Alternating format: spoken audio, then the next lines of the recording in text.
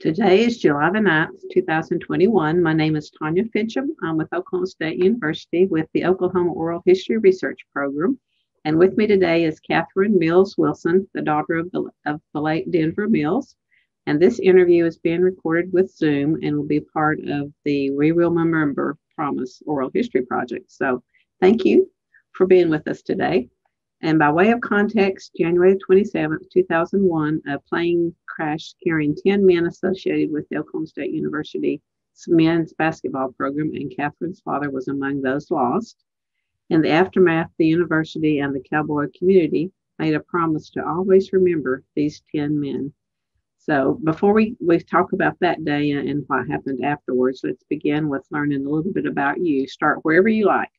Oh, thank you so much. This is such a pleasure to be a part of it. And it's amazing after so many years uh, to continue to take the time to remember those uh, great men, really great men on the on that plane. So it's a treat to talk about uh, my dad today. And as far as I go, I'm 50 years old. So I was born in Oklahoma City.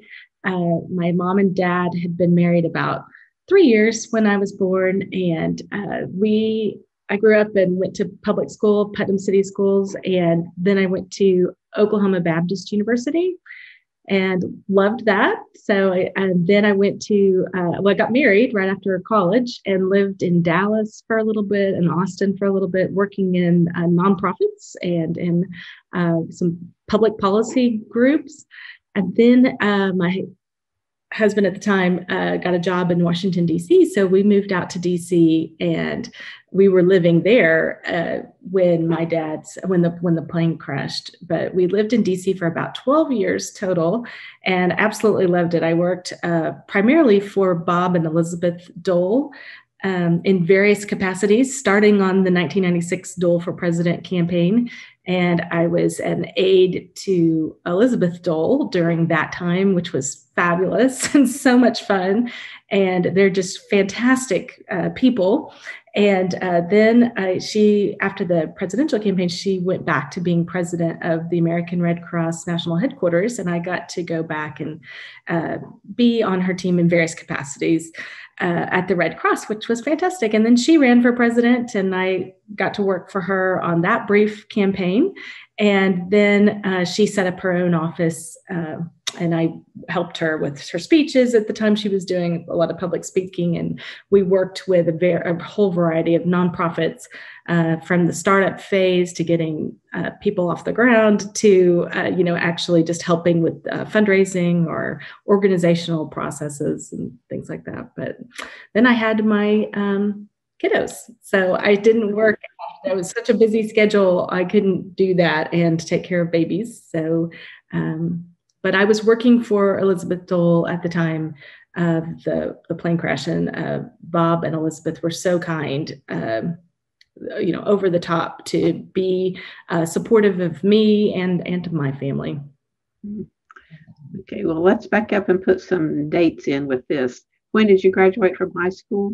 Oh i graduated from putnam city north in 1988 88 and at that point what was your plans? What were your what were you thinking you would want to do as your career oh good question i thought i knew for sure that i wanted to be a cpa just like my dad Okay. Yeah, he was at the time he was the partner in a downtown uh, one of the big CPA firms, and uh, I would go with him sometimes Sunday afternoons to help him do his catch up work, and I found it to be fascinating. But I definitely thought that's what I wanted to do.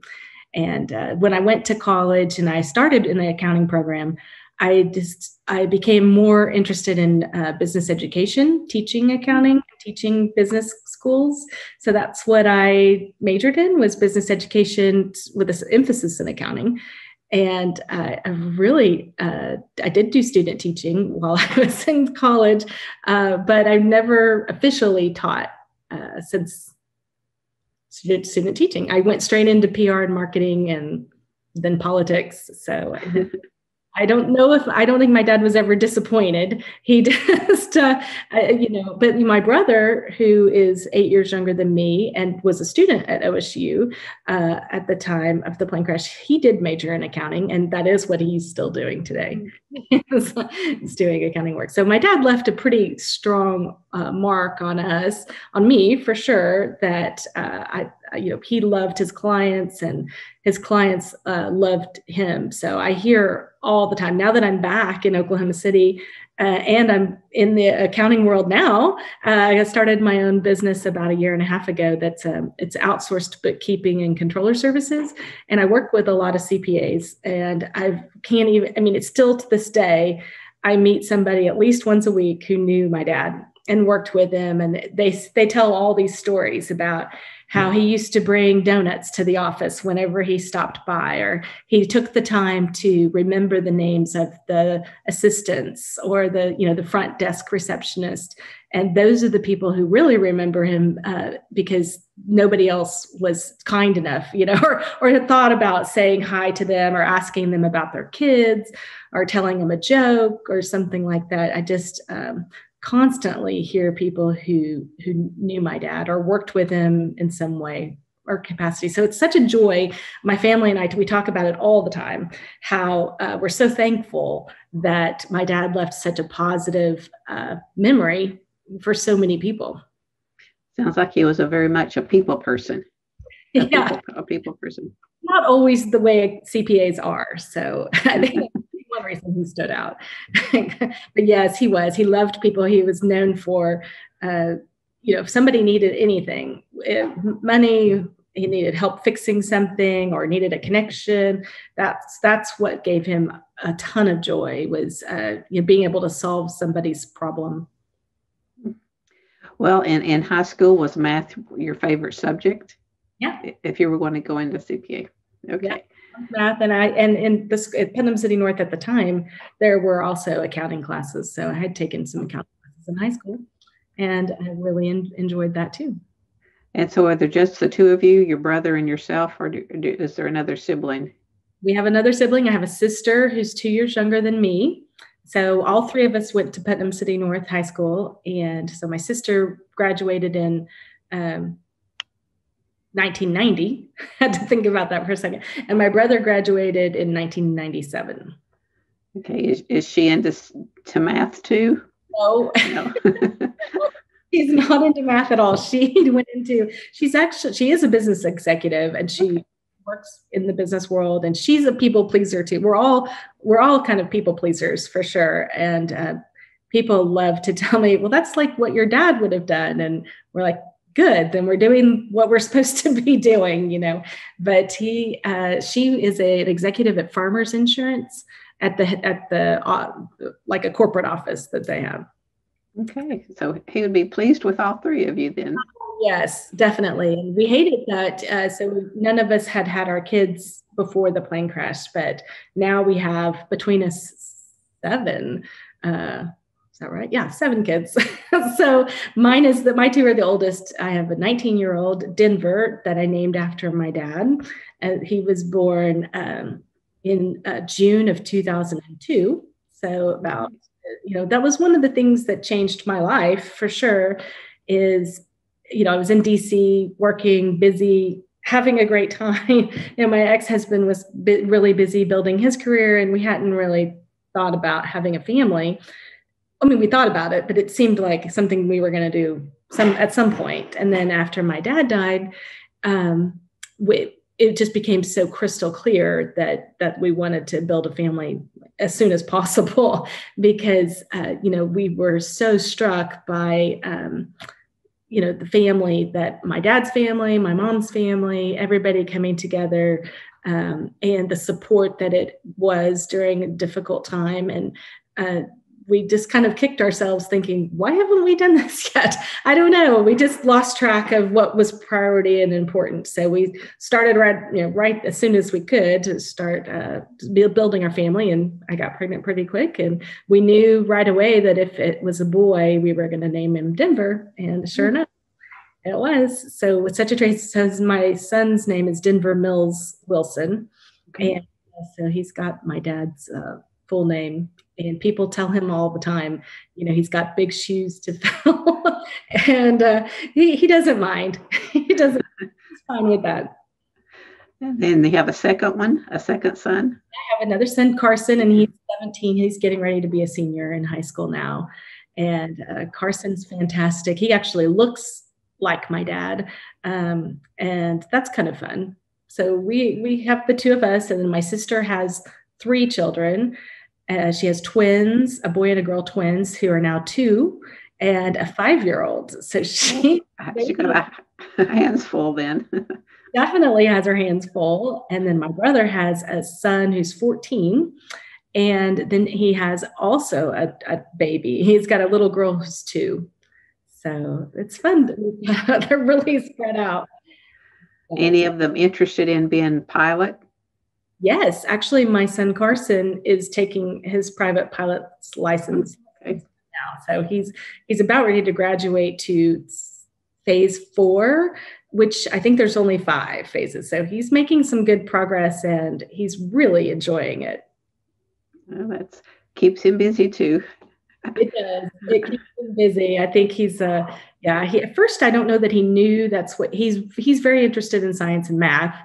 And uh, he's, you know, we're starting college, thinking about college applications. And one of the things that his counselors were encouraging him is to pick, find something unique about him, you know, that he can say that separates him from all the other kids who have great grades in science and math. And so he, we discussed possibly, you know, if he got his private pilot's license now, uh, that would be a unique, especially since he's wanting to apply for aerospace uh, engineering. So, yeah. So he's doing that, and hopefully everything works like it's supposed to. But you know, it's uh, people ask me sometimes, well, "Do you are you afraid of your son flying an airplane or would you even get on another airplane again? And i'm like absolutely yes i will do it. I mean it doesn't scare me at all really. I mean i at all might be an exception but not more than getting in a car would or anything else. He i think my dad um, definitely instilled in us to you know a love for airplanes and a love for that type of flying and you know my first I under I don't remember this, but my mom and dad tell, told me that uh, I flew with my dad at three weeks old. Uh, that we went up on a weekend, and one of my favorite pictures uh, that I wanted to find immediately after my dad passed away is a picture of me standing on the wing of an airplane that he my dad had owned at the time and i was about three. So mm. I, going to the airport with my dad was definitely important to me and something that i loved doing with him. And so i don't have any kind of a, a fear of getting on another king air or a you know a, a smaller plane either one well, as uh, growing up like that, did you do parachuting or was that never, not not part of it? Okay. I've never done, but it is on my bucket list to do maybe like a tandem jump, but some. Okay. I wondered. So you would go up with him, well, quite often. Yeah, I would say a lot. You know, at least once or twice a month. Um, oh. So he would go fly. He sometimes, you know, he had a bunch of different reasons for flying. Um, but he would always fly us on family vacations. You know, we went to Colorado a few times and we would go see my dad grew up in uh, Eastern Kentucky. And so it was common that we would, a couple times a year, we would load up in a plane and fly to Eastern Kentucky to go see his family. And that was always, you know, great, uh, a great memory pulling, you know, flying into, I think it was called London airport or there was a airport in Pineville or Barbourville or something like that. But the all of my dad's siblings and their kids would be there at the airport waiting on us to come, and that that was a good. That's a really happy memory, I think, doing that. But yeah, no, I flew with dad all the time, and uh, even within about a month after the plane crash, for work purposes, I had to get on a King Air uh, for work, and I I thought, well here we go. you know, I just, you know, you can't uh, live life in, in fear like that. And actually, I felt like kind of at the time, I was feeling like it really honored my dad uh, to, you know, just keep going, not let something like that uh, scare you. Well, then let's back up a little bit before we get too far off. When it, like prom time, did he how was he with you dating? That's a good question. You know, he, I, I do have memories of, especially as even going back before high school, junior high, you know, those really awkward years in junior high when you're trying to, when you don't feel pretty and you don't feel like, you know, you're doing things right and friendships come and go and they're odd and uh, all of that. And my dad, especially being a guy, you know, he was very sensitive to um, me and my sister and wanting us to feel beautiful and feel like he loved us very much no matter what we looked like. And he would tell us all the time, uh, you're so beautiful, you know, your heart is gorgeous, you know, you, you're doing the right thing, you know, that sort of thing. And one of the things that uh, he would do for both me and my sister is he uh, maybe once a month uh, he would take us by ourselves uh, shopping or whatever we wanted to do. So usually mine was going to the mall. That's what I my sister liked going to the batting cages. She was more of an athlete. So he would take her to the batting cages and let her, you know, and just pitch balls at her for a couple hours. And she loved doing that with him. Um, and sometimes she would go to the mall, but that wasn't what she wanted to do. I, but it's almost always what I wanted to do. And my dad would usually buy one thing, you know, like we would, you know, but he'd sit outside of the dressing room and wait. Well, I tried on everything, you know, that I wanted to try on, and then we picked one thing, you know. And uh, I look back on that as an adult and having kids, and it really means more even now than it did then because you know it's he. I know he was busy and he had lots of stuff he needed to do, but he's taking you know he's doing he's finding the way to be what we needed, you know, at the time, and and he we always felt like he loved doing that. you know, he put on a good show, I guess, making me think that's exactly where he wanted to be is sitting outside of a dressing room. I tried on, you know, as a 14, 15 year old uh, awkward adolescent. So that's one of my fun things that I like to share about my dad and people just like, I'm pretty sure that wasn't where he wanted to be. wanted to be with me, you know, which was fantastic. And then I'd say dating. Um, yes, he was definitely the kind of guy who would wait up and stand at the door when I came home from a date. And uh, I remember getting upset with him a couple of times. I was like, Dad, you know, don't stand there because I won't get a good night kiss. and he's like, I think I'm going to keep standing here. definitely was not. Uh, he, he felt like you know he was very he was very protective of uh, making sure that I wasn't in a position that, uh, you know, I let go of my heart too soon. Mm-hmm, okay. And, and did he teach you how to drive? Yeah, definitely. and my mom did not do that for any of us. My dad did that for all of us.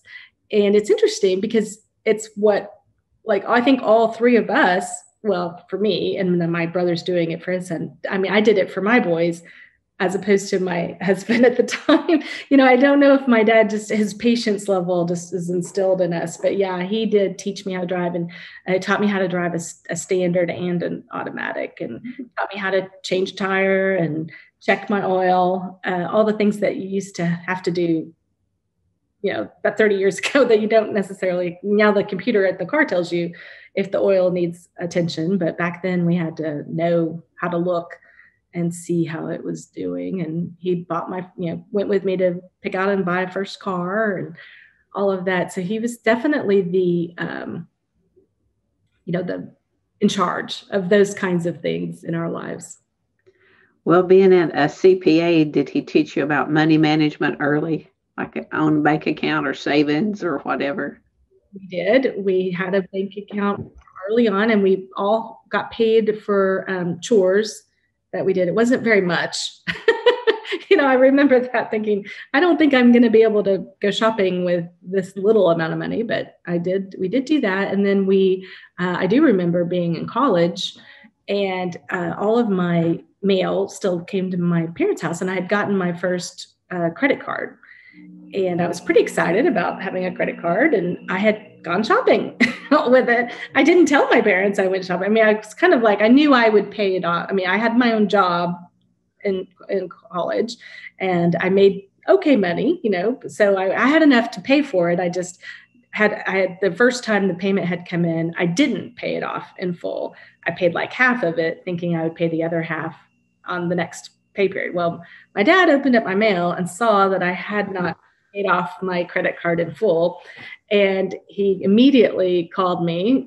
I was at my summer job and I was probably 20 years old at the time. And he says, You know, I'm looking here at your credit card statement and I see that you didn't pay it off. And he said, It's really important that you know to never spend any money unless you have the money to pay it off. And I said, Well, I do actually have the money to pay it off. I just kind of elected to let it go. And he says, That's a horrible idea. You know, he was very upset about it. And he said, If you ever don't have enough money to pay off your credit card, you let me know and I'm going to pay it off. You should never, ever, ever carry balance because the interest is too high I mean, you can get bank loan for less than you're going to pay. You're going to pay too much in interest if you let if you pay if you let your credit card balance go unpaid. And I was like, okay, so and that's all I needed was one little. I hadn't really thought about it that much, other than I kind of wanted to keep the money in my account then send it to the credit card company. And uh, I have kept that promise to him ever since. Always pay off my credit card every month. And don't carry a balance. And uh, you know he that was important to him. Do you think he gave the same talk and a lesson to the, your siblings? Absolutely.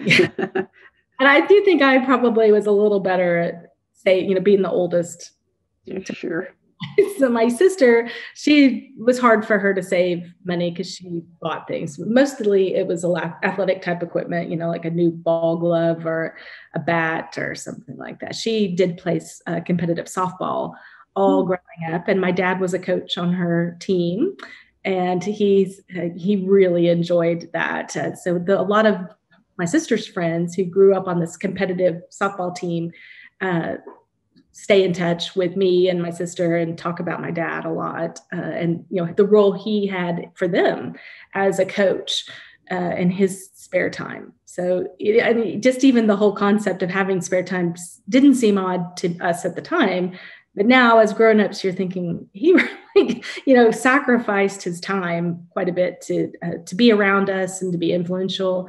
You know, he and my mom um, volunteered at our church for our church youth group. Um, he would be up that we they had like a study hall on Tuesday nights in high school, and he would always volunteer to be one of the parents up there helping people with their homework.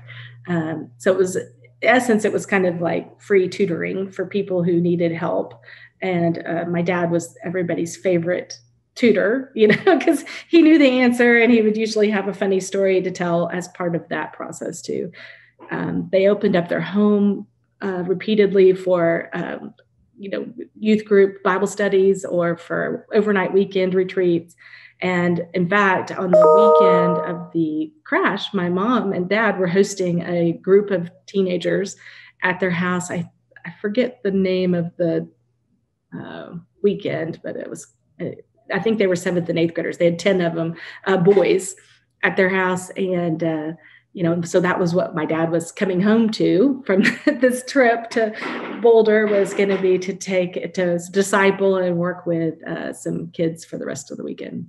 Hmm. It must have been hard on the whole whole group then to to get that news it was it was really hard but my mom has uh, had some great friends my parents had great friends who uh, were part of it as well and they were there to manage you know they managed it perfectly fine you know it was uh, it just one of those things you you know obviously aren't expecting. But i did think it was indicative of um, you know just kind of the way my parents were uh, and what people's memories are of my dad uh, and my memories of my dad uh, just constantly giving and um, and wanting to make a positive difference in other people's lives. Well if he was born in kentucky how did he end up in oklahoma? That's a good story. Well he was he's middle of five children and he's the only he's the first one to kind of get out of working in the coal mines and working in that industry in that area. But he did that by joining the air force and he got out he joined the air force and he was stationed in okinawa japan and that's was his first assignment. And so he was there, uh, and that's how he met my mom, because uh, my mom's dad was a, a, lieutenant colonel in the army, and my mom was 18 or 19 at the time, I think 18. So she was still, you know, living with her parents. She's the oldest of six kids, and uh, so they were in Okinawa.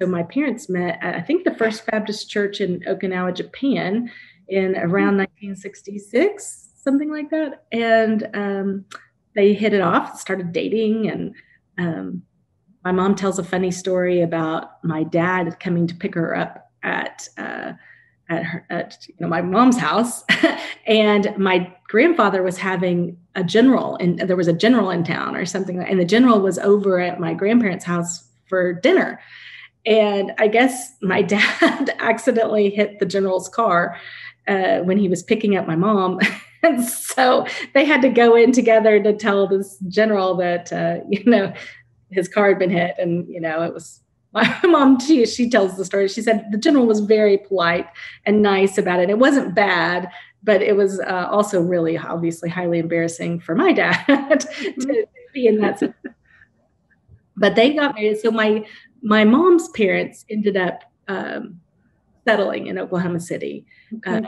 My mom and dad lived in uh, when they first got married they lived in massachusetts and then they lived in kentucky and my dad went to kentucky university he finished his school there because uh, on his air force scholarship or the money that he got from serving in the air force so he um, and so they lived there and then uh, one of the reasons that my dad thought living in Oklahoma City would be great. Well, number one, being close to my mom's parents, which is what she wanted to do.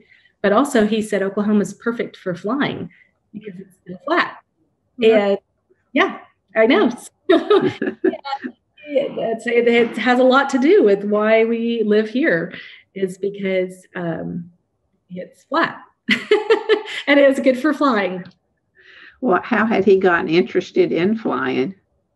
Oh, that's a great question. I think it's just because the Air Force was the um, you know what he thought he wanted of the he knew he wanted to go into the armed forces in order to have money to pay for college. And because he didn't he grew up very very poor. And um, so he just picked the air force. That was what most interested him and seemed like the a path that was more you know what interested him more than the others. So he learned how to fly while he was in the in the air force. Okay. Although his primary responsibilities were um, more toward the maintenance of the aircrafts. He was involved in a lot of that type of work as that was his responsibilities as in the Air Force. Uh, I don't think he was a pilot in the Air Force, but he did learn how to fly. And so his interest in being a CPA came how? Do you do you know how he got interested in that?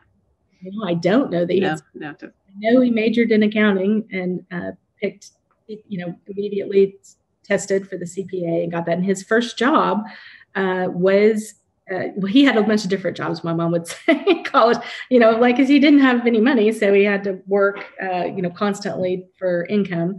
Um, but he, when they they moved to Oklahoma City, when my mom was pregnant with me, uh, because that was the decision point to live here, and he got a job at Deloitte Haskins and Sells, and it's a it's a precursor of a current big CPA firm uh, that's called uh, Deloitte and Touche. I think then since then it's been called something else. But uh, anyway, he was uh, got he had passed his CPA, and that was his first job working in downtown Oklahoma City as a CPA for um, Deloitte Haskins and Sells. So he was uh, that's where he started, and then he he did become partner at Deloitte Haskins and Sells, and he was the youngest partner in the history of the Oklahoma City office. So that was mm. neat. I mean, he just uh, worked really hard. Everybody liked him. You know, it was easy for client. He had a great uh, way with clients of helping them understand their books and uh, you know different decisions that they needed to make in order to increase their income or to sell their business or whatever types of advice he had good, good thoughts. He also had a, a little bit of a, a twang from growing up in Kentucky. Mm. And so I think it was endearing to people, uh, always endearing to us too. Uh, he's he lost it quite a bit over the years, uh, but so every now and then uh, you could hear it. and uh, you know, and just some different terms that uh, he grew up with that we weren't familiar with, um, like calling a, um, a, paper sack is called a poke. Uh, so yep. we would call it that, and we would just get the biggest kick out of that. And uh, but I think his his uh, kind of country boy, small town uh, twang demeanor was was very endearing. Uh, I don't think he used it in a manipulative way, but it did take the guard people's guard down, especially when you're talking about something as important and personal as as money. I guess he gave that lecture about paying off your credit card a few more times with other people. I'm sure yes, in a very sweet way. You know, it was never judgy. It was more just like, this is not a good decision for you. Right. I'm thinking about your best interest. Well, do you know how he came to be called Denver? And that's an unusual first name. It is. And people, a lot of times people assume it's after the city, but my dad had a, a great uncle whose name was Denver. Hmm. And his name was also Denver Mills, because they had, you know, it was a Mills side of the family. But he fought. He was he was a decorated World War II vet, and or, and that's all I know really. But um, so my dad was born in 1945, and it was about the time that uh, this uncle was uh, recognized for his valor and uh, my dad was the next child born after the recognition, and so they they named him after. Well, did he have any leisure activities that he liked to do, like golf or fish or anything like that, besides flying and taking you to the mall? Mostly it was flying, I would say. Okay. Uh, he did. He could play tennis, so sometimes we would play tennis. Um, we take uh, one of our normal types of family trips would be to a um, like we would go to Shangri-La sometimes, which uh, was up at by Grand Lake, and they have a golf course and they have uh, tennis courts, and we um, it would be normal for us to maybe play a couple sets of tennis or something like that. But he on the on a regular day in and day out, um, maybe on the weekend, he he would be at the airport if he was had some downtime. Okay, then uh, talk a little bit about family traditions like at Christmas or birthdays or special things that you would do? Oh yeah. Well, mostly we would have, uh, you know, we have a lot of extended family. So on my mom's side, and primarily they live in Oklahoma City. So she's the oldest of six kids, and all of them have kids. And uh, so we typically would get, we gather, you know, for a family meal at somebody's house for to celebrate a birthday. And that's what we did primarily. I'm trying to think if there was any special. Uh, obviously, for my 16th birthday, my dad uh, he was a member at the Petroleum Club downtown at the time, and in fact, that's where his office was. Uh, because after he had been a partner at Deloitte Haskins and Sells, he moved firms and he just went on as a partner for another firm downtown called Coopers and Lybrand at the time, and now that's called Price Waterhouse Coopers but he had an office on the 30th floor of the Chase Tower downtown. And right above that, on the 34th floor, was the Petroleum Club. But my dad rented out a big room at the Petroleum Club for my 16th birthday. And uh, we had a big and big party, and that was super fun. Yeah, cool. kind of the type of party I, I like to have. Kind of thing. Uh, my sister, on the other hand, I think they went to a they rented out a pool for her 16th birthday party. You know, it just was a different uh, different needs or different things that we want to do. But it does speak to again, my dad was always way more concerned about celebrating somebody else uh, rather than anybody celebrating him. So mm-hmm. I know when my mom's mother had her 80th birthday, um, all of the guys in the family wore these frilly aprons and dressed and they did the cooking and the serving of the dinner. And all the ladies you know were seated and uh, treated like royalty in honor of my grandmother. And that was kind of fun to see my dad in a you know and attempting to put a big meal together and cook. And but he he could do it. I mean he really could uh, he was a great griller. You know he he'd make great burgers or chicken or whatever uh, he was definitely in charge of the grill if we were grilling anything. And um, he had strong feelings. His favorite restaurant was Charleston's, um, and we he could be seen there a lot. And in fact, I just ate there this week with my mom and my sister, and we were talking about how that's the last uh, place I went to dinner with my dad. Uh, I had come home from DC for Thanksgiving, and uh, on that Saturday night before the Sunday I flew back to DC, we'd gone to that Charleston there on Northwest Expressway, uh, which was very common. And I think he ordered the exact same thing every time he, he loved their baked potato soup and their cheeseburgers. So that's pretty much what he would, he would do. That's what I was going to say. What was his favorite food then? Yeah. Yeah. What was one of your favorite presents, like at Christmas or or even a birthday that he would that he gave you that you yeah. still have or he, my dad was pretty sweet about um, buying you know buying me things that were feminine and special. And uh, i think he would more often than not on a birthday uh, go get me buy me something from bc clark. That was kind of one of his he'd go to the one downtown and have the associate there pick out you know just a pair of small you know little earrings or a necklace with a charm on it or something like that and then sometimes he he bought like a you know a rope necklace i never went with him and picked it out he somebody at bc clark helped him i'm sure but he, you know, how it comes in a, I don't know if you've ever seen a BC Clark, you know, but it comes in a really pretty package with a big bow and it feels very, it felt very girly and uh, special. So that was um, something he started. And I still love to get presents from BC Clark. I feel bad for all the people in my life that my dad started that tradition. he, he, did. He, I think he would. Um, you know, that was a go-to for him. Obviously, you know, made a big deal about getting a car when I turned 16. And um, those are the things I remember the most. Well, when it came time to go off to college, did he have any advice or input into where you where you decided to go? Really. He we did go to. I mean, he went with me to tour. We went to OSU and we went to OU and um. Those are the only three schools we looked at. And um, my best friend it was a year older than me in high school and she went to OBU.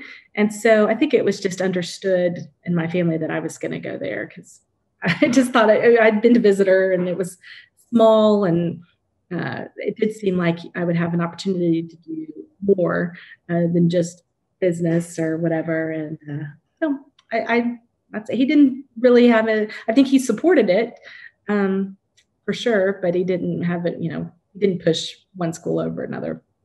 He just did he have any requirements that it be in state versus out out of state? No. All that, but I also wasn't really looking for anything out of state. I was really looking to stay. I was I came home a lot. I would come home on a you know on a Friday and go back on Saturday or home on Saturday and go back on Sunday. I, I liked to be home. And, so uh, think on your if you had your own car, you probably drove yourself to to, to move in to, to yeah, and my dad and mom came with us. and too. Okay. They were there for move-in day, and uh, you know, and he he come he stopped and he had a client in Shawnee, um, and I he would be there and he'd call me and say, "I'm going to be in Shawnee tomorrow. Do you want to go to lunch or something like that?" And I was like, "Absolutely." Always said yes. Uh, that that does make me think too. Something else eh, that came to be uh, when I was in college, starting my freshman year. My dad would always always send uh, roses on Valentine's Day, um, and that was special. You know, just to just he always liked kind of being our our Valentine, and uh, that was really nice. With always a sweet note attached and a, our piece of encouragement. That was, that was fun. And when I was at OBU, I'd always get, uh, and he continued that really until uh, several years into my marriage, uh, but I don't know what point it stopped. but he's been in college. Uh, yes, I got roses on Valentine's Day from my dad. And you would have graduated from college in 1992. Okay. And then you got married in 93. In 93. Do you have any special memories from that day regarding your dad on I, your wedding, wedding day? he had a, I mean, I think he was okay with um, me getting married, but he did have a hard time with it. And my mom would say that uh, she probably got the brunt of it because he just really uh, he did feel like you know that my husband and I were getting married quickly, and he he had a feeling that we were going to move away, and he really didn't like that either. so he was supportive in pub, you know, in public, but I think it was really difficult for him in private. So, but he, he managed it. He survived.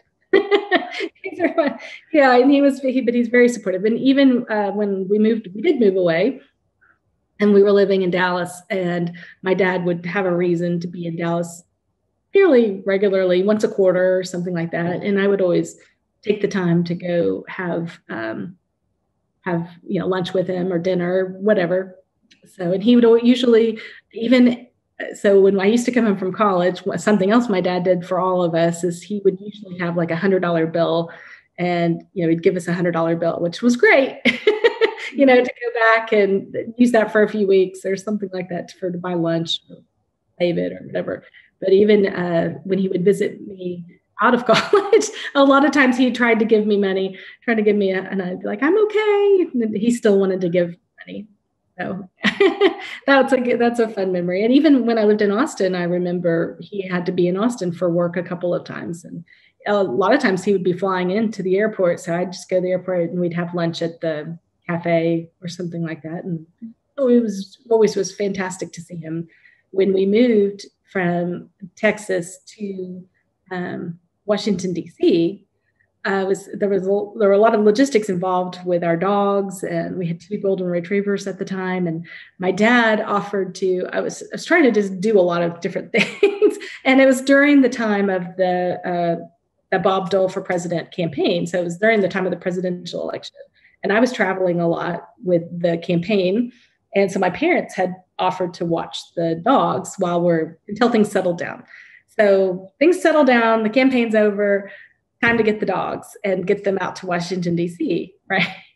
and so uh, my dad, being my dad, he says, Why don't I just fly them? Like, okay, why don't you just fly? so he, uh, my two little golden retrievers got a very special trip uh, to Washington, D.C. to uh, finally hook can reconnect with uh, with me after the campaign was over. That was that was nice. I wonder if he strapped them in. I don't know. I did ask my mom. I said, "What were the, what was on the dog's faces when he took off?" And they, she said they both went. well, would she would she fly with him very often? Your mother? Yeah, she flew with him a lot. She never did learn how to fly herself, uh, but she she would go with him to a lot of places. I don't think she traveled with him uh, very much when he was doing the OSU uh, travel, but um, know, yeah, she she would get in the plane with him. It wasn't her favorite thing to do, um, you know, on the weekends or whatever to go just to go for a flight, but uh, she did she did do it quite a bit. And she understood his passion. So, yeah, definitely. It was always a funny joke. He would say. Um, like she'd call him, you know, she would always have my mom back then. I think it was more common than it is now to have a full dinner every night. So she would cook dinner every night, and she, my dad would have a plate, and you know, be expected to eat dinner, you know, and uh, she would call him, and uh, you know, at six thirty or something like that, and he uh, would always be. It was before mobile mobile phones, mm-hmm. But she could get him usually at the airport. and he would say, uh, I'm going to be home in two minutes. That's what we joked with him all the time about what, what is two minutes exactly? sometimes it was five minutes and sometimes it was 20 minutes, but uh, he would always say two minutes. But so you, you lived pretty close to the airport then? We did. And that was also, I mean, by design. So I grew up, uh, my dad always flew out of, mostly, I should say, 99% of the time would fly out of Wiley Post Airport, which there on the north side, northwest side of town. That's we lived in that vicinity all growing up. And uh, it's interesting too because so my parents, uh, my mom's known as a a bargain type person. You know, she clipped coupons and she looks for deals and she gets really excited. You know, on Black Friday and things like that. So we, we give her a little bit of a hard time about that, but we joke because back in um, probably 1995 or 96, something like that, um, there was a sale at the cemetery that's close to my parents' house, and it was a two for one. So my mom had got wind of that, and they, she and my dad had gone out and went ahead and bought their cemetery plots because uh, it was a special two for one, you know. And uh, the the plots are directly underneath the path, the flight path in Place Airport. That's appropriate, I suppose. I don't think. I mean, my mom says she didn't catch on to it at the time that my dad might have thought that was a good place to be or something like that. She said he really didn't put much thought into it at all. But, you know, obviously when we go and visit the cemetery plot now, we just can't believe it, you know, how uh, there's just plane, continuous flow of planes, you know, right there where he is. Did they do anything special for or unique for the headstone or the marker? It does have an airplane on it, and okay, uh, I thought it might. and it's got a, a unique uh, tail number, and it says uh, that it's I forget. I think it's N33 or L33, like for, and then it's got all three of our initials of the three kids. So 33 was my parents had been married 33 years, and then it said like KDD or something like that. I think that's what it is. Okay, there's some significance to that. What's there then? Yeah, yeah. But we we we think it's pretty funny that uh, you know he not that we really think he's there, you know, watching, but the symbol the symbolism of it is is is, been, is great because you know if he if he was there, he would love it, and and uh, it's one of those memories from being a kid where anytime you could hear a plane outside, you know, we just stop what you're doing and stop what you're look at the plane, right? And my dad would see if it was somebody he knew or he could recognize the tail number. He could recognize the um, by the by the tail what kind of a plane it is. and you know, he'd say, "Oh, that's so and so," and that's a whatever type of plane, and we'd be like, oh, "Okay, that's great." but uh, we we hear planes a lot based on where we lived because we lived so close to the airport. But uh, that was a, a constant. Um, presence. Because anytime you hear an airplane, you gotta go look at it. Did you go to air shows like is it the Blue Angels? There was a Air Force Blue Angels or something. Did, would you go to those if they came close? Yeah, definitely, definitely. And you know, my dad's friends were all pilots. Uh, well, I mean, not all of them. He did have work friends too, but he had a lot of friends who were pilots, and um, they're they're a funny group. you know, they so uh, I can remember one of his friends in particular became a pilot for American Airlines, and there was a time when uh, I took a flight on American, and he just happened to be the pilot for that flight. It was such a random uh, occasion, but they, you know, my dad's flight buddies and his his friends from work too, you know, just had a deep amount of affection for him and uh, had such fond memories telling stories about uh, going to watch planes or, or flying with i know i flew with your dad to whatever for this. And you know he was so funny. He bought a hot dog for this girl who you know, dropped her hot dog and you know just some they have these stories uh, of their memories of doing things with my dad. And uh, it's such a it's such a reassurance and it's uh, like i said before it's really such a joy and a privilege that he left such a positive influence on people Will any of these fellow pilots females? I mean, I mean, he did. He wasn't opposed to females being pilots. No, I was just curious. Yeah, that's a good question. I don't recall any female pilots. Um, Women just didn't do it as much as during his time too, I guess. Yeah, and I always, I think in back of my mind, I thought I might do it someday, but I haven't. And, uh, I'm okay with that. I like riding in a plane for sure. Well, do you know how he got interested in being OSU's flying for OSU some? I mean, that would have been after you were probably out of college or at least out of the house.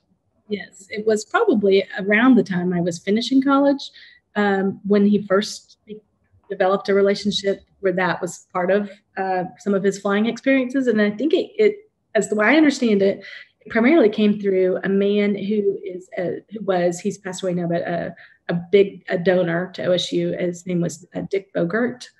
Um, and Dick and his wife were friends with my parents, and my dad would fly with Dick and for Dick um, on regular occasions not related to OSU.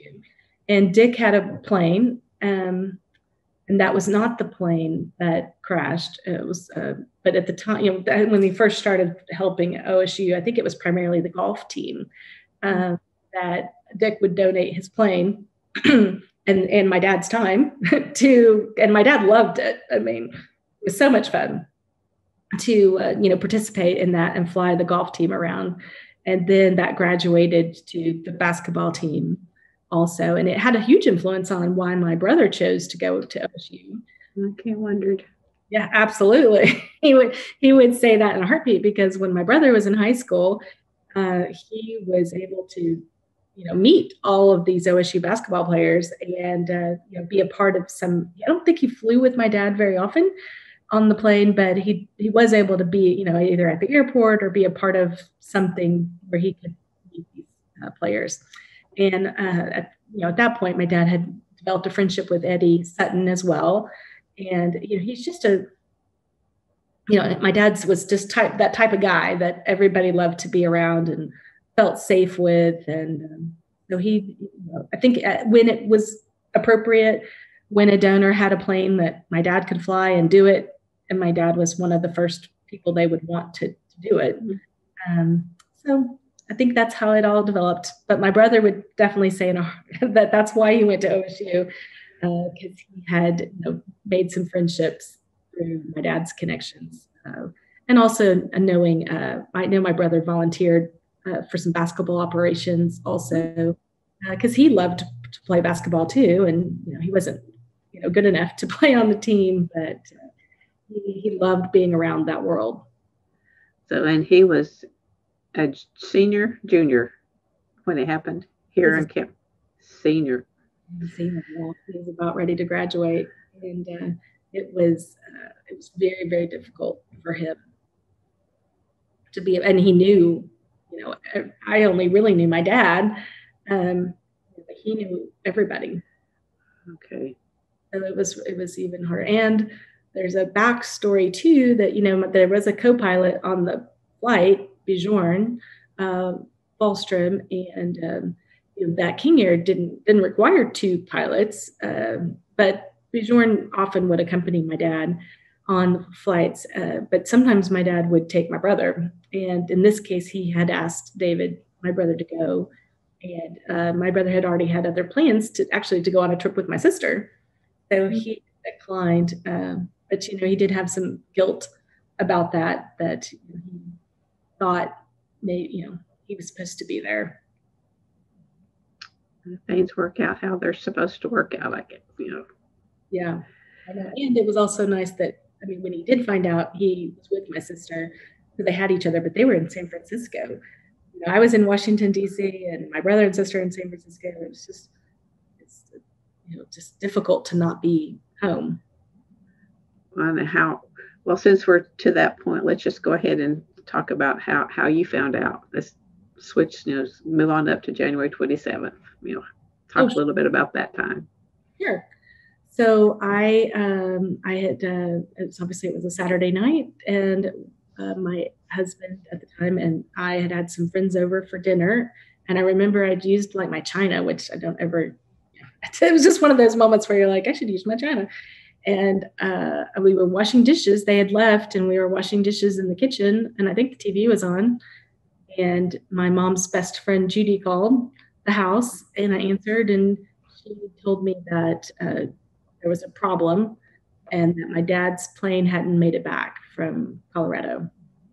And I had actually that afternoon had watched the game on TV for a little while. I didn't watch the whole game, but uh, I would frequently, if I knew my dad was there, you know, I'd turn it on and find him in the crowd, you know, and I had done that that afternoon and seen him in his orange shirt, you know, and uh, with a cup of coffee or something, maybe it was a Coke or something, but, uh, and I, I, found him in the crowd and then uh, I, I knew where he'd been. I knew what was up. And she said, We don't know anything yet. Um, we just know that the plane didn't make it back.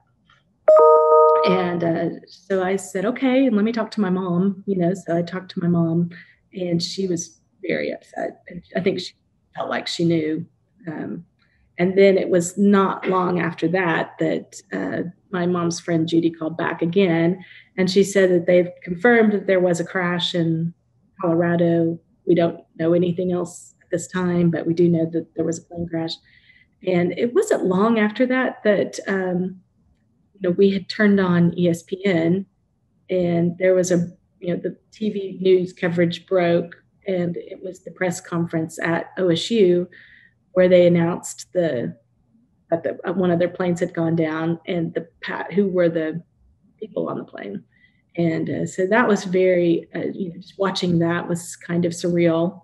And hearing my dad's name on ESPN, um, you know, in my kitchen in Washington, D.C., just feeling very helpless. Um, so uh, my the people I worked with at the time and the Doles, they were we were all watching ESPN together, and uh, yeah, I'd called them in the meantime, so they they had turned it on too, and they're like, we we saw that, you know, and immediately, you know, somebody bought me a plane ticket, and uh, you know, we made arrangements for the dogs to go and all. I left on the first flight out, you know, the next to come to your mother to get to get to your mother. Yeah. yeah.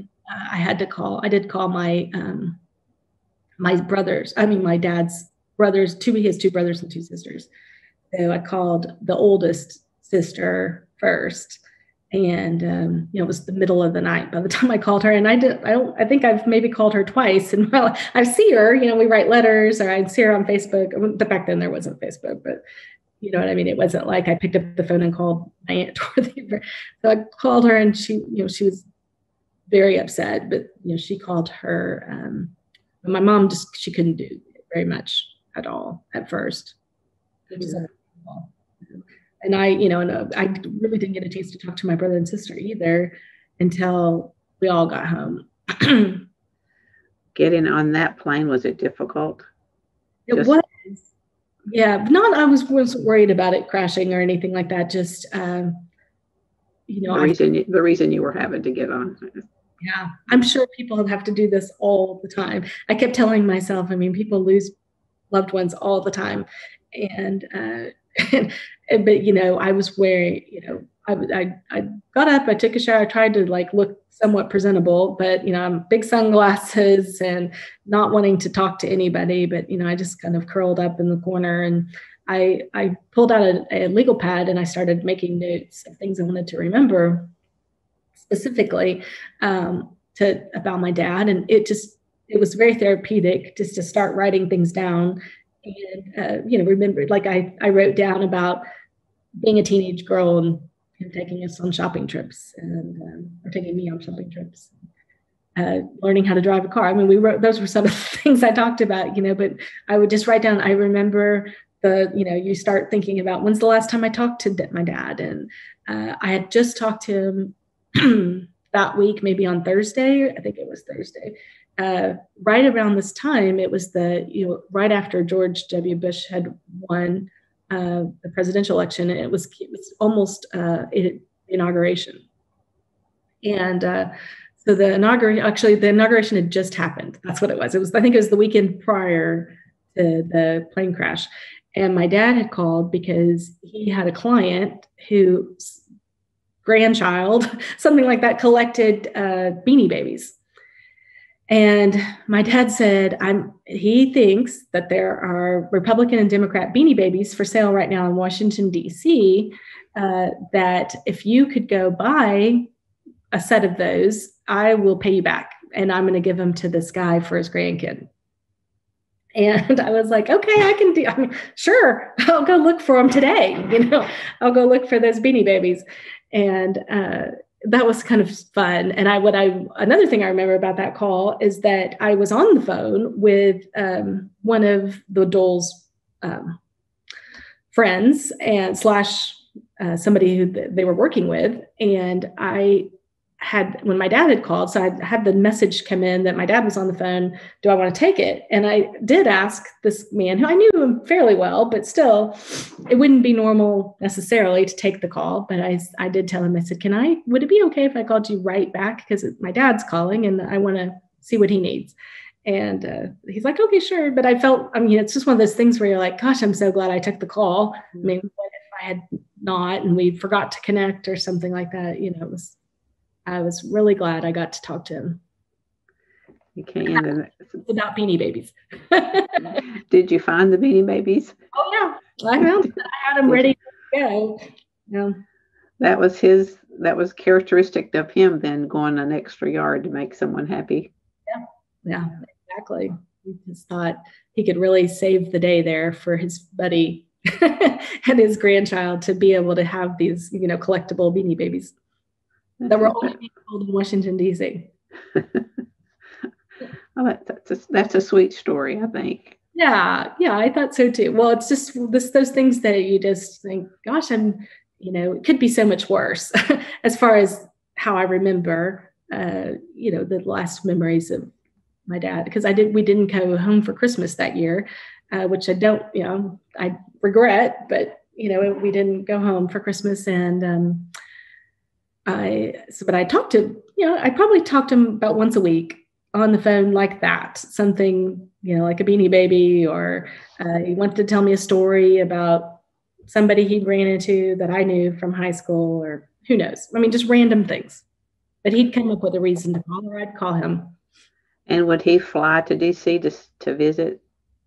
Only a few times. I'm just thinking. It's a little further trip, I guess. Well, not too much further than Kentucky. true. That's right. Well, just the time that bringing the dogs was one. And uh, yeah, he, I didn't have, I think, you know, when I was in Texas, there was a lot more reason to be down and you know, have flying a plane down there, picking up a plane down there, something like that, or work. Um, and DC didn't have, I think they, I mean, I know he came, he and my mom came two times maybe, but they, I think they flew commercial but I came home a lot. I mean, I would come home several times a quarter, almost probably almost once a month. Uh, we had a reason to come back.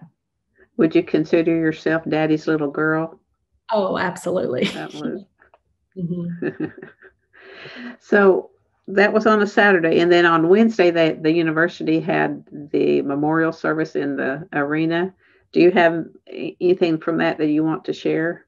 Mm-hmm. Well, that's, yeah, I mean, I remember it very well. Um, that's when President Halligan made the, the, the promise to, to never forget them. I, I remember that. Yes. Uh, that was meaningful. It's uh, yeah. We went to we went as a family. A lot of our extended family came. Um, my dad's siblings had driven in from Kentucky also um, with their families, so we had we had a big group there. Um, it was my mom's brother's birthday. You know, I remember that, and just we all felt the sadness that this was, you know, he's having to do this on his birthday. But he didn't care, you know. But this is more just us worrying about him. Um, and of course, my dad's birthday was January 31st. So, you know, we're all thinking about he, you know, he was almost 56. So he was 55.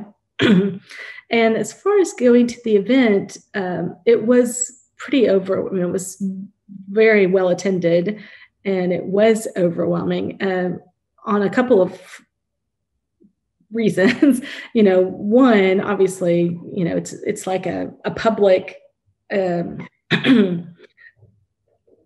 it's like you can't just hide from the fact that this happened anymore. You know, it's there's a lot of people who are acknowledging that this happened and it happened to nine other families too. And I think it was maybe one of the first times we really appreciated and took in the fact that there were nine other families hurting as bad as we were at the moment and uh, and seeing them hurting too um, it, it, was pretty you know overwhelming at the time it's very emotional and and feeling um, you know, it's it's so thankful. It's continuing to be so thankful that um, you know my dad was a great guy and we love him so much, and you know, he left such a legacy.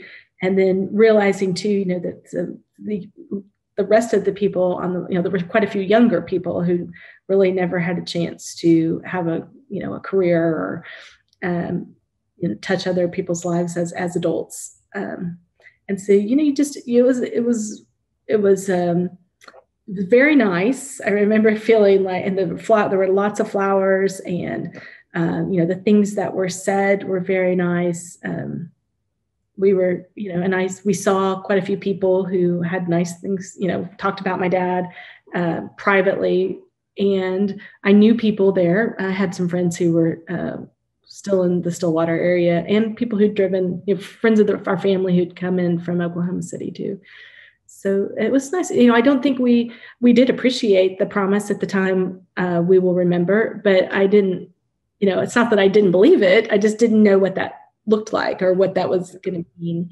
Um, and i would definitely say we feel like uh, they've done a, they've exceeded any expectations that we have had uh, to achieve that goal and that promise. Um, so with the memorials they're they're stunningly beautiful and a fantastic tribute. Um, and the fact that they've done it in Colorado as well, and the one in Gallagher-Iba is fabulous. And then each year to take the time, I mean, somebody from OSU has taken the time to write a letter to our family to uh, make that promise again. You know, we remember.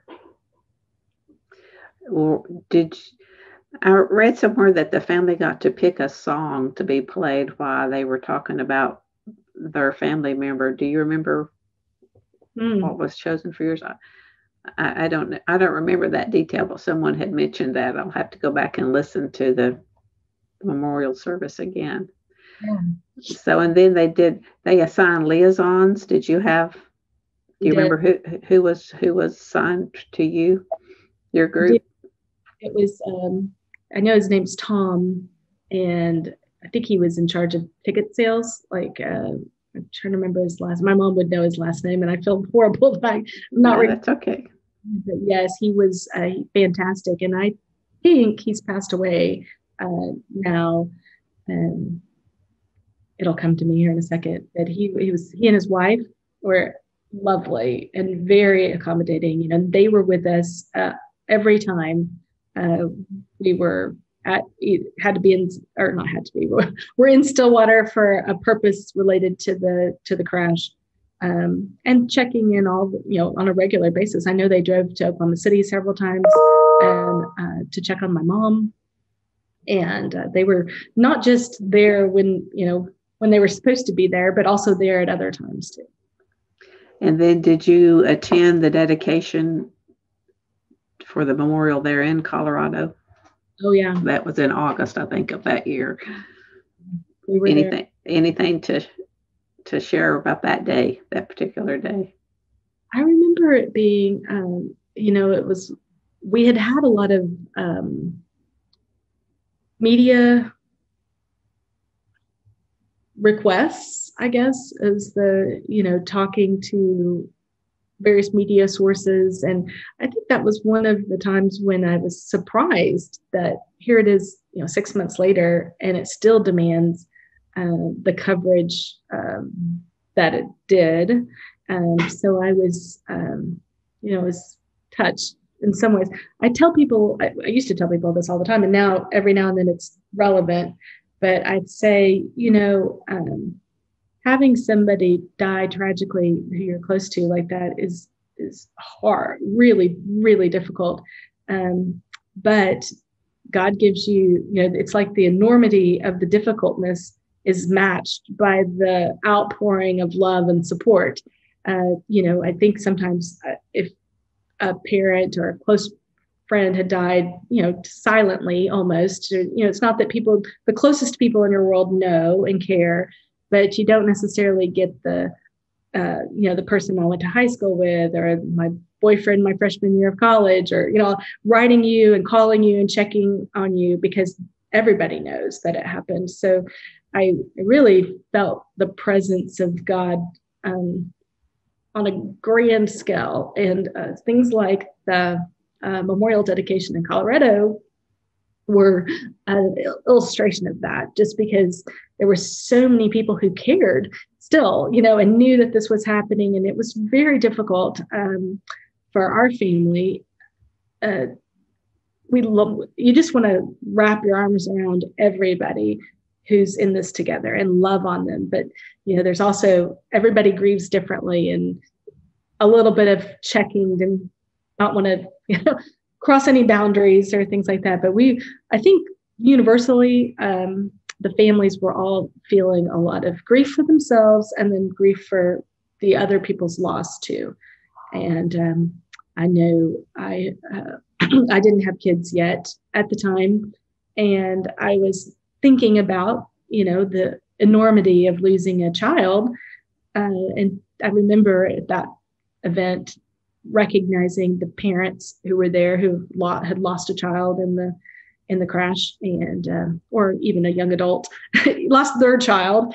And um, you know just we were i had a huge amount of grief uh, but the um, enormity of the and the magnitude of the grief from a mother or father um, we could see it on full display or i could see it on full display.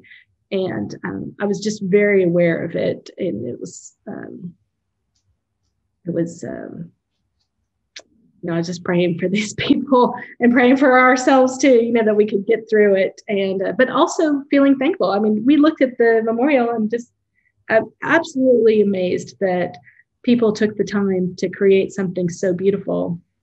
And there's some, so much that went into it. Uh, the artist, uh, and then, you know, we had written, I know each family had submitted what we wanted it to say and that took a you know an effort for everybody to come together. We were happy with what we said. Um, and you know just looking at the site uh, trying to visualize what it looked like at the crash and also not wanting to think about that too. Mm-hmm. you know things like that. Uh, we we saw pictures of the crash um, quite a bit.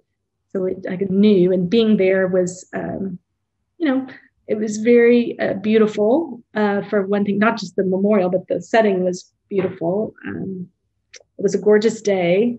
It was kind of hot, but uh, yeah, we were just, it's a lot of overwhelming feelings, but very thankful um, and uh, very uh, blessed to uh, that, that, that people took the time to make it so special.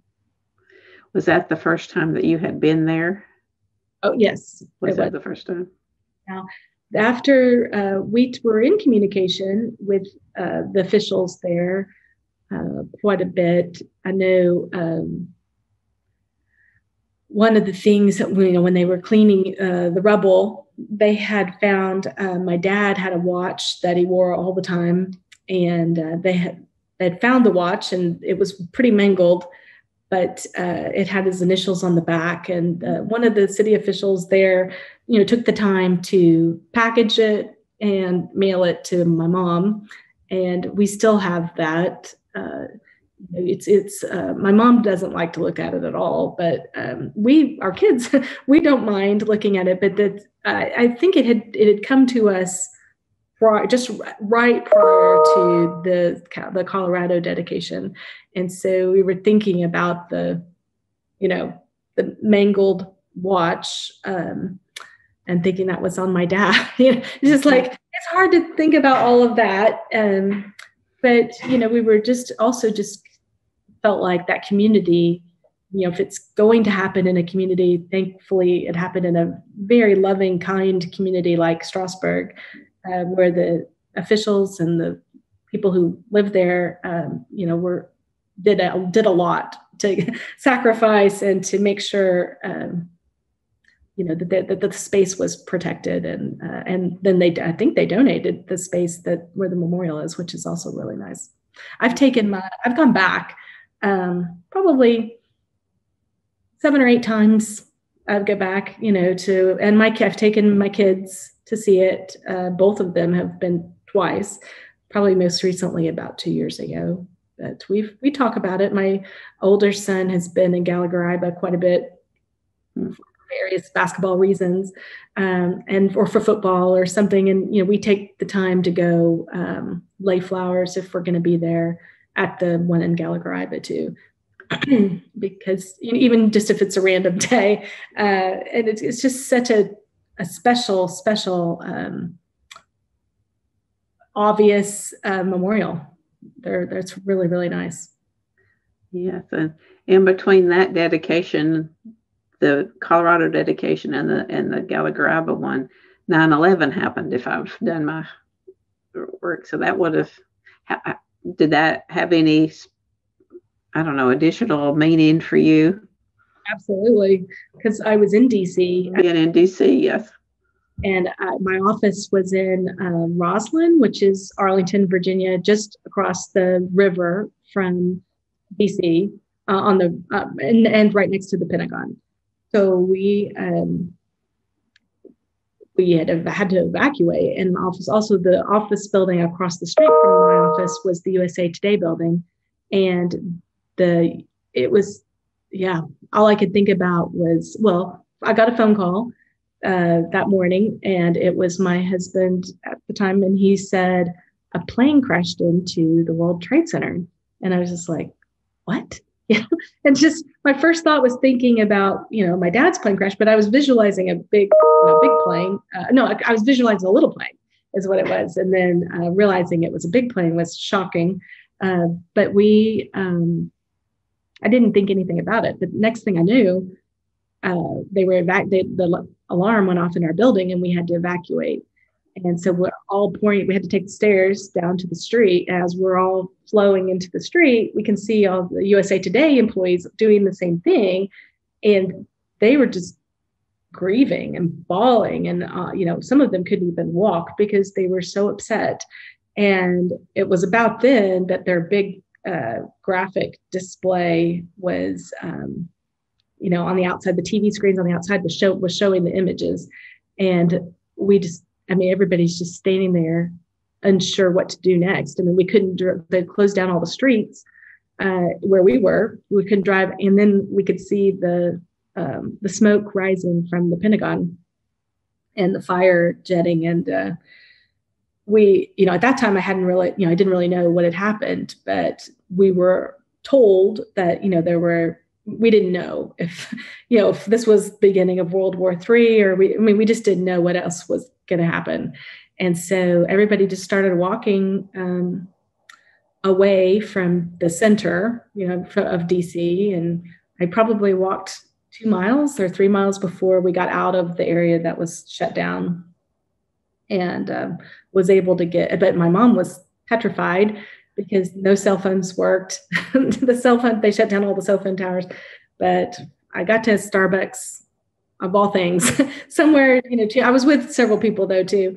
And we were able to use the landline there to call everybody that we needed to call and say we were safe. And then eventually we were able to get a ride home. But I think that, uh, yeah, one of my biggest memories from that day was feeling like I'd just been a part of uh, tragic loss of 10 people and the magnitude of that and how um, how horrible and absolutely awful uh, that was for 10 families. And imagining that times i didn't know at the time but hundreds of families and then now we know thousands of families you know, going through that devastating tragic loss um, it was almost just too much to, to think about. I could I could visualize. Uh, I was picturing, you know, these hypothetical homes that were getting this news that we did, um, just nine months earlier,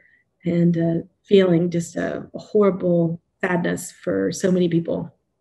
Well, what were some things that helped you get through that time period? Probably. I mean, my faith, and our family has a strong faith, and knowing my dad did too. Um, and what would he want? You know, and thinking about that, and trying to, you know, just take the um, look at everything with thankfulness. Uh, you know, recognizing that it this stinks and it really hurts, and I'm sad and all of that, and I'm sad for everybody else, but trying to focus on the things that we're thankful for. That helps a lot. Um, I think that's also what my dad would have done. And I would say the support of, uh, like I was saying earlier, just the magnitude of support, um, the people who know, even today, you know, um, you know, they'll say something on the anniversary on the radio or TV, and people who wouldn't normally be thinking, oh, my friend's parent died 20 years ago today or 19 years ago today or 18 years you know they get reminded and so we get a lot of uh, I mean, people take the time to say, thinking about you today. Um, you know, we love you. We know today's hard. And, and that's just the type of uh, support that's absolutely wonderful, very uh, means a, a, lot to us. And, you know, if you, if it was a, I just, it's, it's the counter thing, you know, because it was so public, I think, it, you know, we had to deal with things that wouldn't normally have to deal with, but we also get a, that much more support and love from, uh, you know, people who care including OSU too, like we talked about. It's just a, it's a, you feel like if there probably wouldn't be a better way to handle everything than the way it was handled. I think, and then did they do a scholarship? Does your dad have a, a scholarship in his name? We do, and part of the legacy. Yes, we did, and I, I believe we I, there was a fundraising effort to contribute uh, to it and make it bigger. So I knew um, my family contributed more, and so did uh, several other of our friends' families. When uh, we did, when we had my dad's service, we did say, you know, in lieu of flowers, please make a contribution to this fund. And uh, we tried to help it. And I, and I know my mom gets letters every year from uh, the beneficiaries of the scholarship. Okay. And do you or some uh, you since you're in well, you probably do. Do you come up for the annual whatever they're happen to do be doing on the annual yeah. annual days of it? I've made the majority of them. Uh, there's probably a one or two in there I didn't make it, but uh, they do. They typically have it as a uh, con- in conjunction with the bas- the home that's closest to the date, and uh, they they always set aside a a section of the student section for the family to sit in, and um, they'll do a moment of silence during the game, or so, and they they have a dinner. In the past, they've had a dinner for the family prior to the basketball game, and that's you know it's amazing how. Um, yeah, there's several of the families that we know pretty well now, and it's um, it's actually really nice to see them and uh, you know connect with them and hear you know what's happened in their life um, for their you know for the remaining family members the parents the uh, and it's usually a very cordial happy time uh, to you know to everybody be there together. More positive than negative. Right. And it gets that way over the years. I've always kind of resisted uh, listening to people who say uh, well we really hope you have closure um, on this or you know, time will heal your wounds or something like that because i resisted i always be like this is never going to heal. This is there is no closure you know? And there is truth to that for sure. It's uh i don't you know it, the tears flow easily if i start thinking about it or remembering that time. And so it's always still there but time does help to uh, see you know to remember the positives and to also you know just see it from a, a broader perspective. And um, you know one of the things for me that i like to think about is you know i probably who knows when i would have started my family. And you know i've got these two boys that are fantastic. It also prompted our move back to oklahoma city from washington just that desire to be back in oklahoma. And i've absolutely loved that that that transition happened. Uh, and I don't know if that would have happened either. Um, so, you know, just uh, there's things that there's things to be thankful for and uh, things that we, uh, you know, and also just trying to apply the principles that my dad lived by and, and the legacies he left to, uh, to our lives. And then in 2007, they started the run. Yeah it, have you have you or anyone in your family participated? Yes, my family has participated several times. Uh, okay. I been able to participate for one reason or another. But my family has, like, for the first several, they would get a, a shirt made in Mills or something like that. And uh, as I have all those shirts, but I, I have never been there on the day of the run. Well, I could have done the virtual one this past this yeah. past time. I do follow the group on social media, the Remember the 10 run on social, and I see all the stuff that happens. And it's still just, it's touching that people care so much. And it seems like a great cause that it supports. I do the walk. I can't do the run. yeah, I'll have to try to do it this year. I've always thought I would, and then something comes up. I think they they have moved it to August. I think this year. It's usually in April. Okay, typically, yeah. typically in April, but I think they've moved it to August. Oh, I could be wrong on that, but I think that's what I had heard. I will definitely look it up. I would love to participate. Yeah. So, when was the last time you were on campus? Question. I'm going to say it was probably for the memorial in 2019 you know, in 2020 because it was before, probably was the 2020. Before COVID, because, yeah, yeah, before the lockdown. Yeah. Okay. And then this year's the 20th anniversary, and they couldn't couldn't do it because of yes. of COVID. But my brother, he has season tickets for the football games, and I know this last fall when they opened the stadium back up, he went to several games, and uh, he always reports back. You know, we we usually take a picture, or we you know do something to say we were there. Um, well, my mom would probably I don't know for sure if she did it for every time he went, but I'm sure at one time in the fall he would have taken flowers for everybody, or to lay it all the on the memorial. Yeah, it's pretty. Do you do you like the kneeling cowboy? I do. Yeah, yeah. it's um, uh, I just think it's it's truly beautiful, and the location is definitely significant. So you said it was difficult to come up with the inscription. A little bit, yeah. Just everybody had their own ideas on. Uh, you you got a big family. There's a lot to cover there, but we just started by writing down a bunch of words, and uh, eventually it came together. Were you, did you have a word limit? Yes. I, I was thinking there might have been a word limit.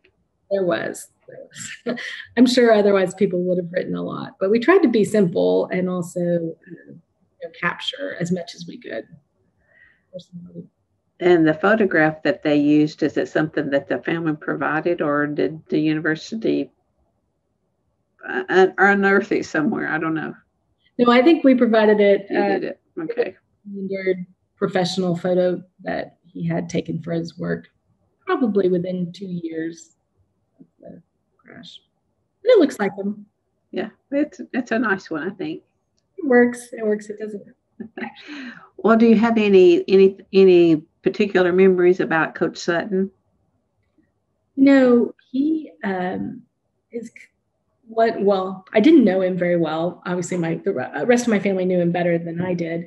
Uh, but uh, I was I was really touched. Uh, he went out of his way to say kind things about my dad right after the crash.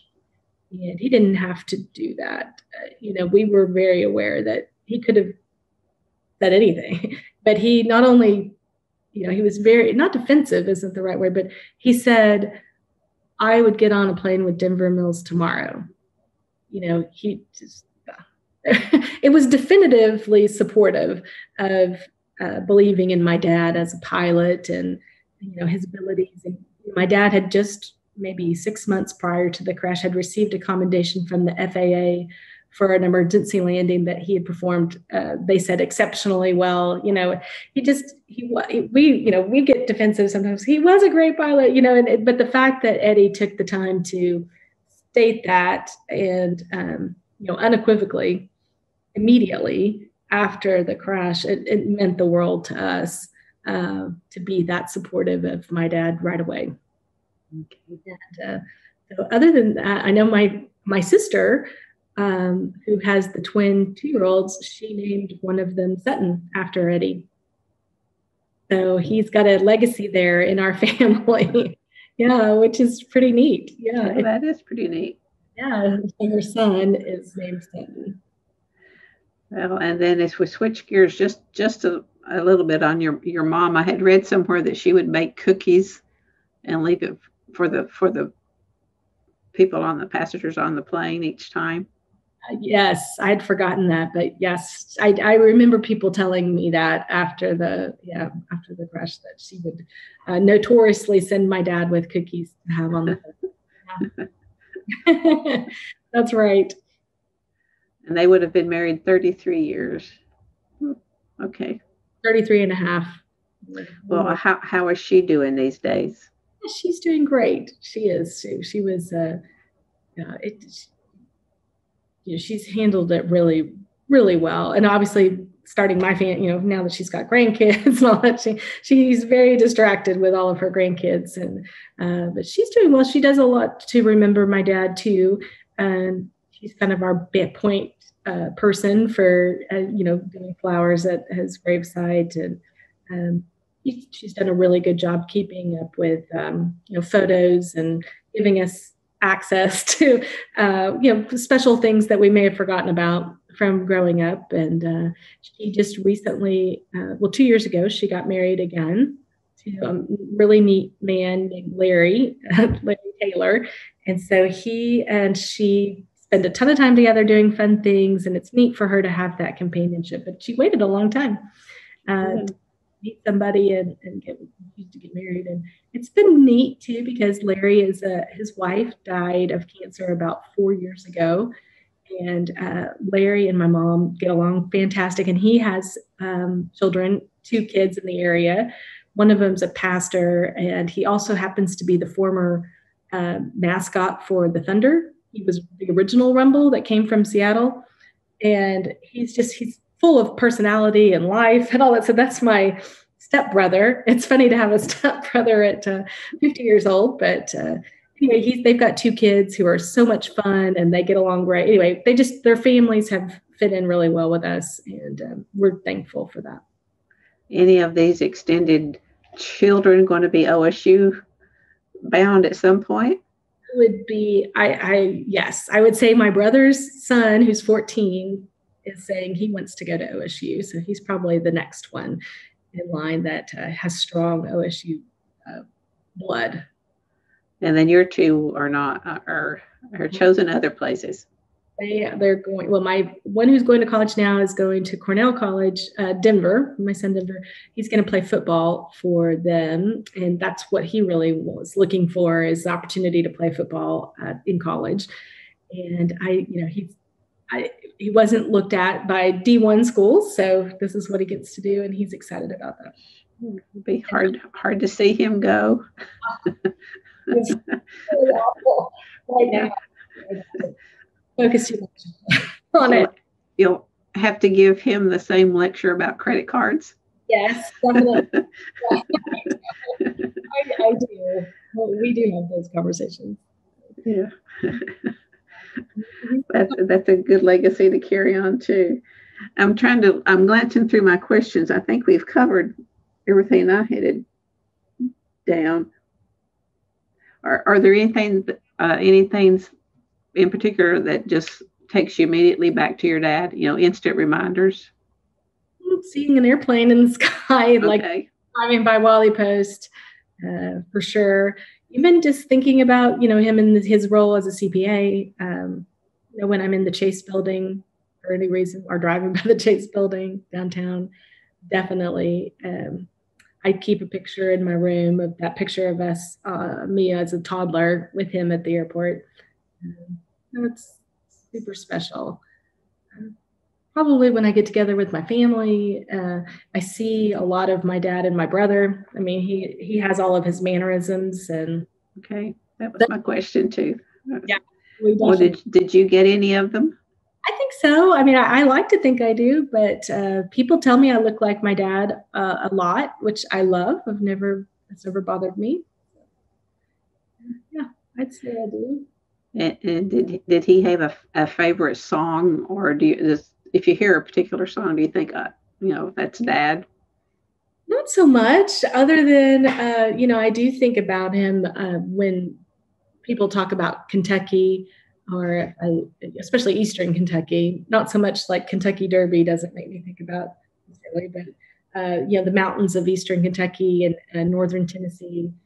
That area is that's his, you know, his stomping grounds, and his he tell he used to tell great stories about you know his time with his brothers, and you know they just did a lot of mischief. and uh, you know, but he my my dad was notoriously the good one, I guess, or he didn't, he got in less trouble than his brothers did. But they would go for days uh, hiking in the um, Daniel Boone State Park that's right there. Mm-hmm. And, you know, his mom would just know they'd come back eventually. so they would, they would, they were big explorers. And uh, my dad loved to fish, you know, and he taught, he taught my sister and I how to fish. And that comes from his time you know, just having a rod in the in the lake. The area where he was born, uh, you know, he was born in his parents' house, uh, not in a hospital, you know, in uh, Greasy Creek, Kentucky. Hmm. Uh, they had a lot of creeks there, and there's a lot of when you go back to that part of Kentucky, uh, which I used to do a lot when I was younger, but it was always shocking to me how many of the mailboxes had Mills on them. So Mills is a really common name there, but I also think, you know, so my dad's parents, my dad's dad was one of 13 kids, and my dad's mom was one of 13 kids. big family. Lots of lots of family. And they're all kind of right there in that part of um, the world, except for my dad. he he uh, you know he's he's really the only one of that uh, family that left.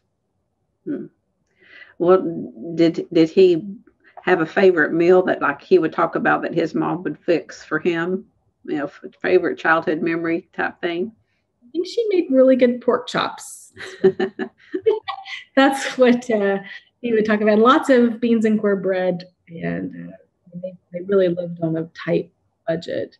Uh, my dad had his his mother died when uh, I was six or seven, lung cancer, and my dad was crushed. I remember that's the first time I saw my dad. I remember seeing my dad cry, and, and he was very upset uh, about losing his mother. He was very close to his mom, and and he tell. I guess my dad was really sick. I don't remember if it was uh, scarlet fever or he had something as a child and missed a bunch of school and was really out of um, pocket for a long time. And he, um, she just nurtured him. You know, so I think the story goes, you know, for months on end, she would sleep in you know, at the foot of his bed to, you know, take his temperature all night, check on him. And, you know, he's a, um, he was, she was definitely a nurturer and, very loving. And my mom speaks very highly of her too.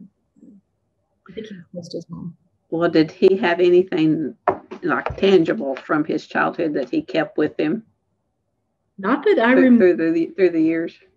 Other than stories. not a, not a toy airplane. No, not that I know of. No. Yeah. No. Just just really good stories. Yeah.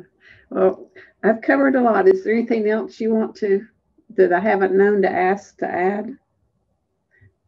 I can't think of anything. You're so kind. The, the university's done a good a good job. you say you say. Yes. Absolutely. So we'll, we can close with just how how would you like your dad to be remembered? Hmm.